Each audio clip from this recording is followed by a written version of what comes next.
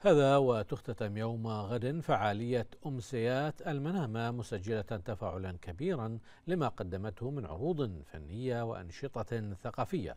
وجاءت هذه الفعالية بالتزامن مع اختيار المنامة عاصمة السياحة الخليجية 2024 وتجسد فعالية أمسيات المنامة روح التنوع والتراث الغني لمملكة البحرين من خلال ما تقدمه من عروض فنية وموسيقية وأنشطة ثقافية وترفيهية بالإضافة إلى عرض مجموعة متنوعة من السلع اليدوية والحرفية التقليدية والهدايا التذكارية إلى جانب خيارات متنوعة للضيافة.